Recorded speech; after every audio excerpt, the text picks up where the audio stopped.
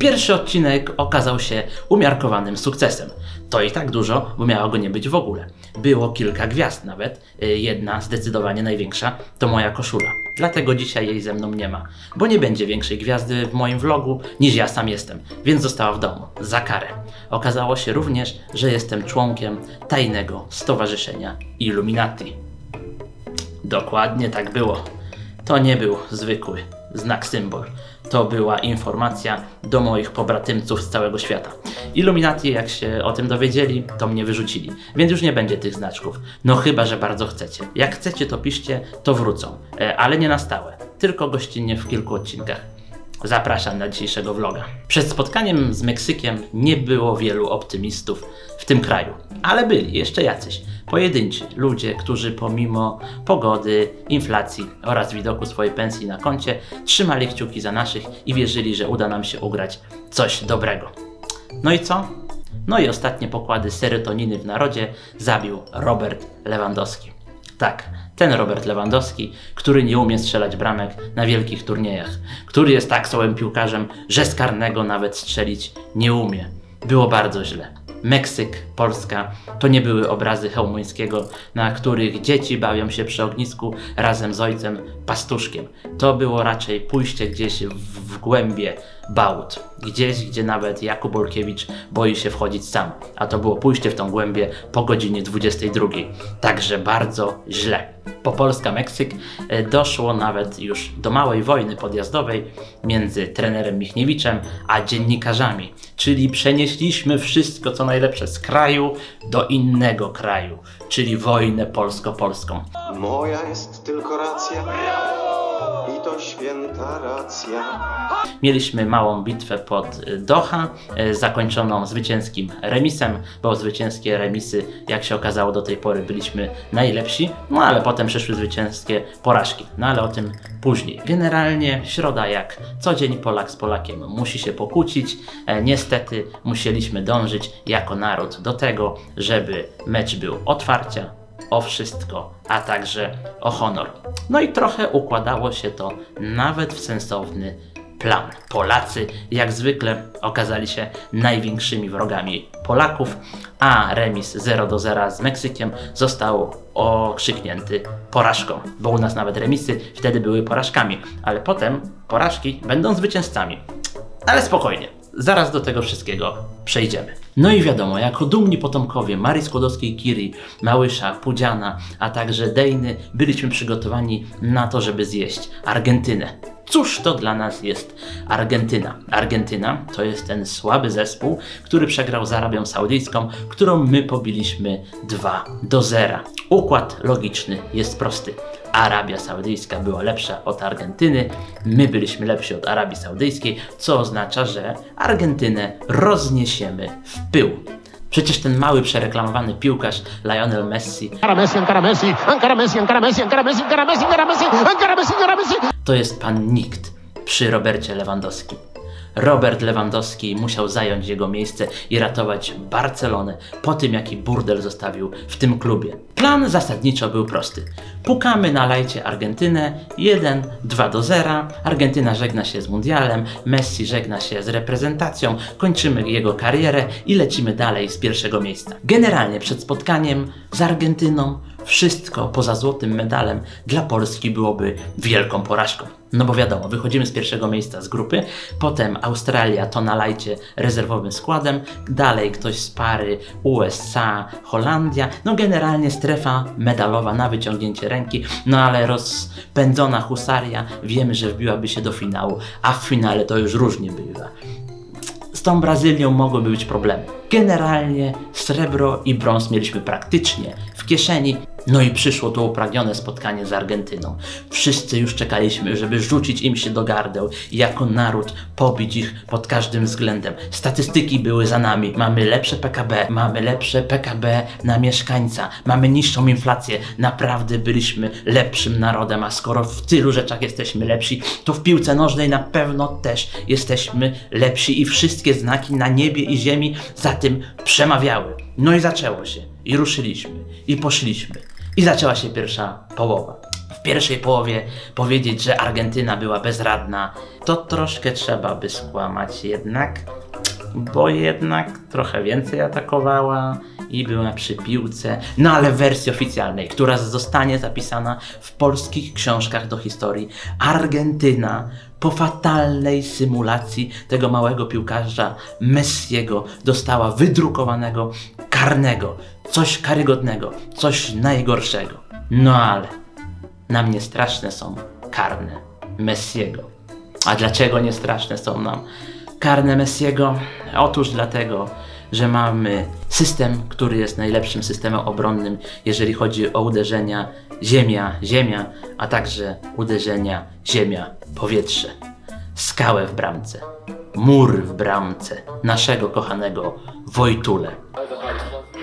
Wojtula, który do tej pory nie miał najlepszych turniejów. Wojtula, który do tej pory na dużych turniejach miewał głównie pecha. Tym razem okazał się tym, na kogo czekaliśmy przez tyle lat. Bramkarzem, który nie różni się niczym od wielkiego muru chińskiego.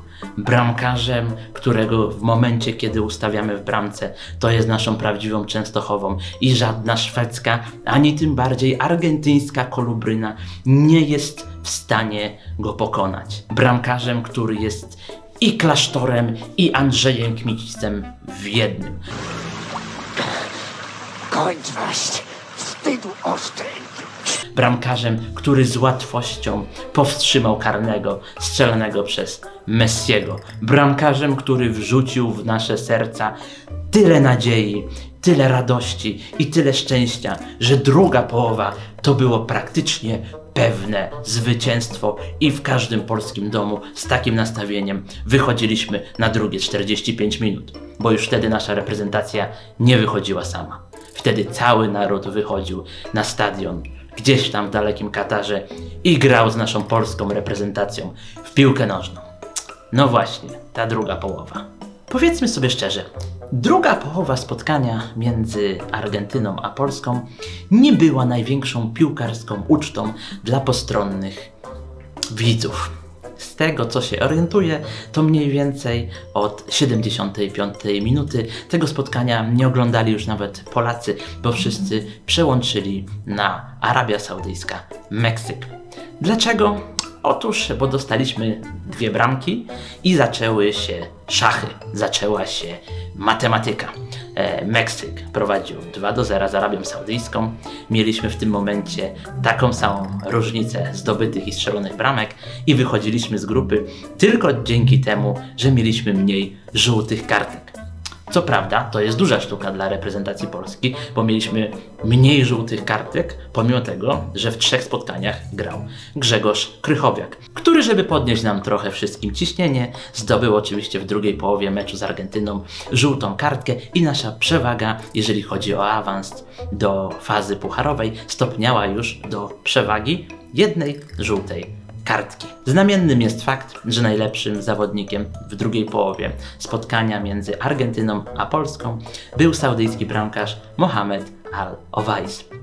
Tak, dokładnie to on wyciągnął kilka takich piłek, które dawały Meksykowi awans do drugiej rundy. Panie Mohamedzie, jako naród polski, jako jeden z jego przedstawicieli, bardzo panu dziękujemy z tego co wiem, jest duża szansa, że w kolejnym plebiscycie przeglądu sportowego, a przynajmniej piłki nożnej, pan nominowany do miana najlepszego polskiego sportowca, a na pewno najlepszego polskiego futbolisty. Jeszcze raz wszyscy bardzo serdecznie panu dziękujemy. Polakom to jednak nie dogodzisz. No bo z jednej strony przegraliśmy z Argentyną i w drugiej połowie nie graliśmy w piłkę. W drugiej połowie baliśmy się dotknąć piłki, baliśmy dotknąć się e, Argentyńczyków. E, W drugiej połowie stosowaliśmy taką naszą polską strategię, czyli sławetny niski pressing. W drugiej połowie baliśmy się być na boisku, w drugiej połowie zaprezentowaliśmy coś z pogranicza pantomimy. No ale z drugiej strony, dokładnie te wszystkie zabiegi doprowadziły nas do największego sukcesu na Mistrzostwach Świata w piłce nożnej od 40 lat.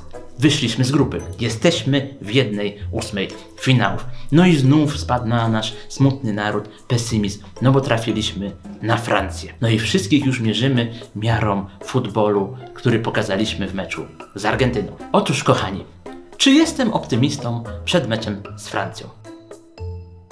Zdecydowanie nie. A gdybym był, prawdopodobnie dzwonilibyście po karetkę, żeby zabrała mnie na obserwację do szpitala klinicznego i nie obejrzałbym tego spotkania. Ale czy znowu chcę być tym ultrapesymistą?